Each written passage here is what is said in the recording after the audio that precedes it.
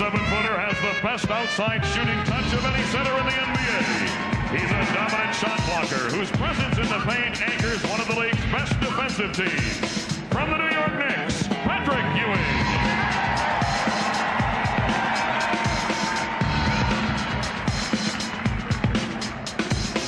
And now the starting lineup for the East All-Stars.